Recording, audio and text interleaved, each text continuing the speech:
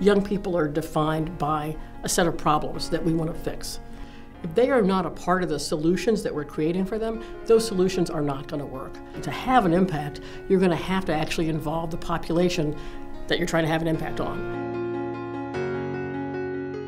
Spaces that we can create or should create for young people should be the spaces that they create, right? They create for themselves, um, and that we, we are there as partners, as supporters. Teenagers need support. They don't need us to take over, they just need us to support them. How do you balance being the adult, having authority with supporting youth agency. When I think about kind of the idea of youth adult partnerships, I think about it more in terms of a dance, where there's moments where you need to step forward to be able to provide a little bit more support or provide the structure, and then there's times when you need to step back to enable the young people um, to take leadership. We're very interested in youth agency, pro providing more opportunities for youth to be responsible, uh, to take leadership, to act to exercise agency, to develop their skills. I felt like the kids were overburdened. They're doing soccer, they're doing drama, they're doing my program, they're doing all of these things. And so I limited their responsibilities. They can have a bigger role. Their voice can be bigger and more impactful. I mean, they want that.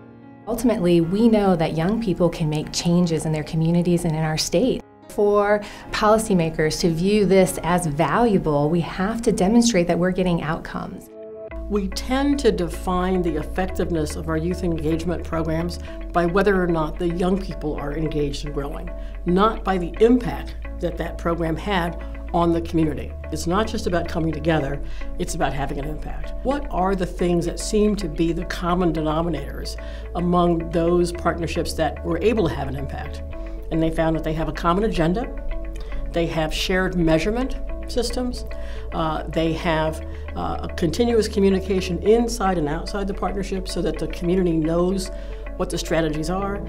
They work on mutually reinforcing activities. And then the piece that really caught on was if you're going to have this kind of a partnership really make a difference, it has to play some critical backbone functions. It has to be staffed. If communities aren't investing enough in their partnerships and coalitions for them to have the capacity to have an impact, we're basically spinning our wheels. That's the idea of collective impact. Give young people an opportunity to not just think about how they could change something in their school or in their peer group, but actually in their community. That means that they're going to have to work together for collective impact. There's so much research done about young people, and young people are rarely included in the development of knowledge about themselves.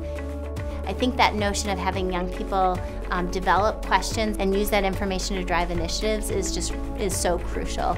We really believe that this is an effective way for Ohio to create population level change. Youth-led programs work and youth-led programs make change and we need to have that evidence and that's where we're at and Ohio is a forerunner in doing that.